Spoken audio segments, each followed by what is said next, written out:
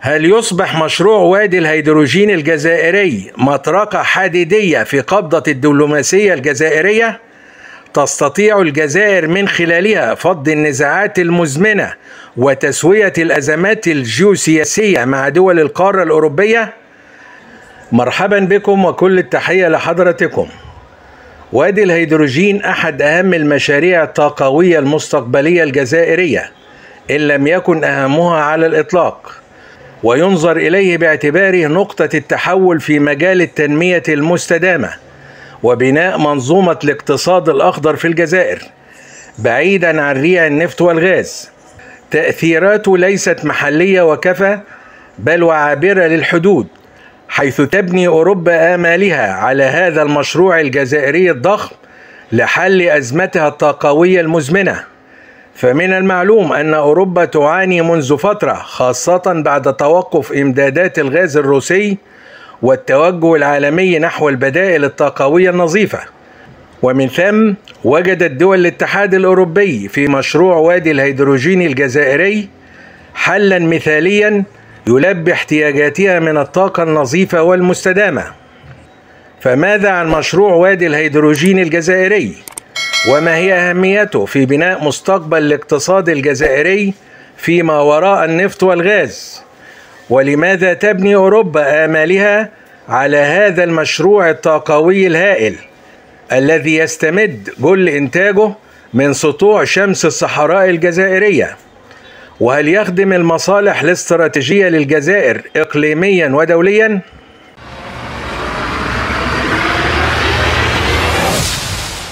من المنظور التقني وبحسب كمية الانبعاثات المصاحبة لعملية إنتاجه يصنف الهيدروجين على النحو التالي الهيدروجين الأسود أو البني وإنتاجه يعتمد بشكل رئيسي على الفحم. الهيدروجين الرمادي وهو يستخرج من الغاز الطبيعي. الهيدروجين الأصفر ينتج بالأساس اعتمادا على الطاقة النووية. الهيدروجين الأخضر يتم إنتاجه حصريا من مصادر طاقة نظيفة ومتجددة مثل الطاقة الشمسية وطاقة الرياح وجميع مراحل إنتاجه واستغلاله وتوزيعه صديقة للبيئة. وهذا النوع هو المستهدف من مشروع وادي الهيدروجين الجزائري. جدير بالإشارة أن فكرة مشروع وادي الهيدروجين تقوم بالأساس على إنتاج الهيدروجين والغاز الطبيعي والصناعي منخفض الكربون من مصادر الطاقة المتجددة بهدف إزالة الكربون في مواقع الإنتاج مع إمكانية استعمالها في تلبية الاحتياجات الإضافية المحتملة.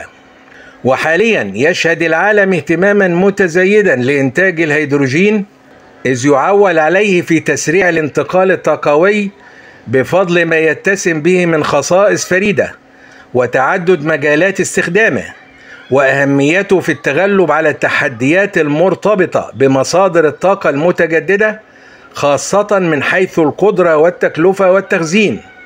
كما أن الاستثمار في الهيدروجين على نطاق واسع يمكن أن يساهم في خفض التكاليف فضلا عن إمكانية تخزينه بكميات كبيرة لضمان استمرار إمداداته في القطاعات الصناعية المختلفة ومحطات توليد الكهرباء. ويأتي تنفيذ مشروع وادي الهيدروجين الجزائري الذي تتراوح استثمارات منشآته ما بين 20 و 25 مليار دولار في إطار الخطة الاستراتيجية الوطنية التي وضعتها الحكومة. وأعلنت عنها في ديسمبر كانون الأول 2022 لتطوير إنتاج الهيدروجين في الجزائر. وهي عبارة عن خريطة طريق تستهدف تحويل البلاد إلى رائد إقليمي ودولي في إنتاج هذا الوقود النظيف وتسويقه.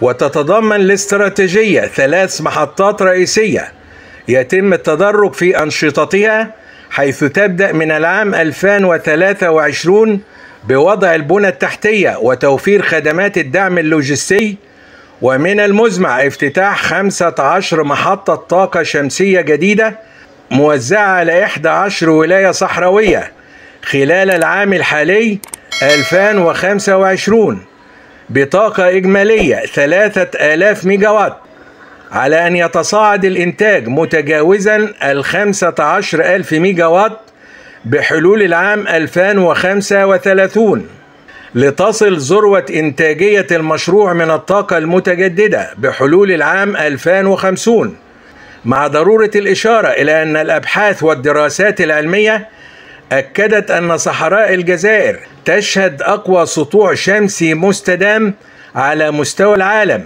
يمكن أن يستوعب الامتداد الصحراوي مئات الحقول الضخمة من الألواح الشمسية لإنتاج كهرباء.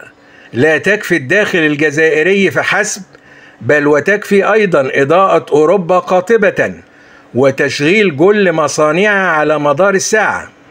ولكونه طوق نجاة لأزمتهم الطاقوية فقد أسال مشروع وادي الهيدروجين الجزائري لعاب الدول الأوروبية وهرول غير واحد من قادتها وكبار المسؤولين فيها نحو الجزائر لعرض خدماتهم وكسب ود الدولة الجزائرية.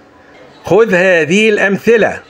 الزيارة الهولندية التي أفضت إلى تقديم دعم تقني من قبل الوكالة الهولندية للمشاريع لتصميم منشآت حديثة في مشروع الوادي.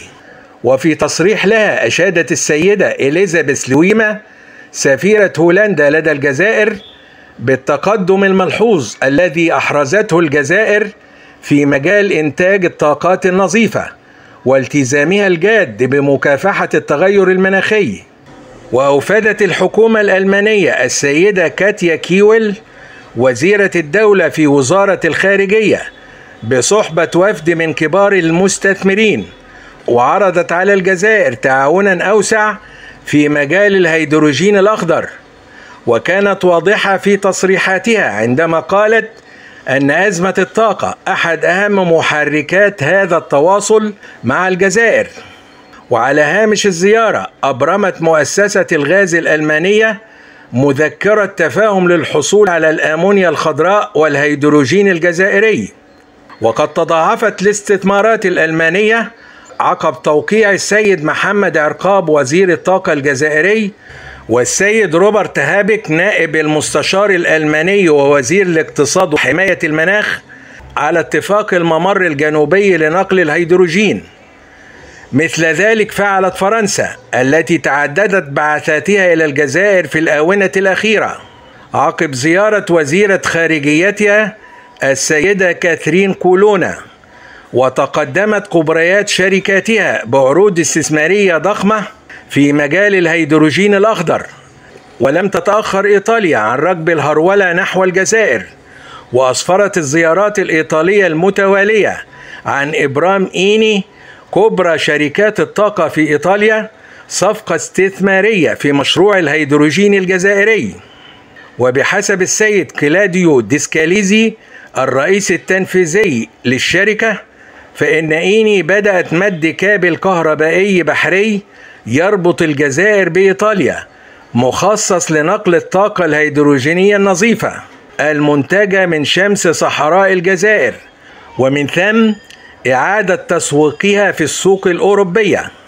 لقد تجاوز ذيوع صيت وادي الهيدروجين الجزائري المحيط الأطلسي حيث أبدت بعض شركات الطاقة الكبرى في كل من الولايات المتحدة الأمريكية وكندا رغبتها القوية بضخ استثمارات كبيرة في المشروع الجزائري العملاق. ووفقا لمخطط التصدير الجزائري فإن نحو 10% من الهيدروجين الأخضر سوف يضخ إلى السوق الأوروبية بحلول عام 2040 للميلاد مع فتح أسواق جديدة عابرة لما وراء الأطلسي. وبحسب تقديرات وحدة أبحاث الطاقة فمن المتوقع أن تحقق الجزائر إيرادات سنوية تقدر بنحو 10 مليارات دولار أمريكي عند اكتمال المشروع وهي حصيلة دولارية إضافية من شأنها دفع اقتصاد الجزائر نحو مستقبل أفضل والسؤال الذي يطرح نفسه هل يصبح مشروع وادي الهيدروجين الجزائري مطرقة حديدية في قبضة الدبلوماسية الجزائرية؟ تستطيع الجزائر من خلالها فض النزاعات المزمنة وتسوية الأزمات الجيوسياسية مع دول القارة الأوروبية؟ هذا ما سنكشف عنه في تقرير مصور جديد ننفرد به قريبا على قناتنا. شاركنا برأيك. نرحب بتعليقات مشاهدينا الكرام. ونامل أن تتسم التعليقات بالآراء الجادة التي تحظى منا بكل تقدير واحترام. ولا تنسوا الدعم والاشتراك في القناة.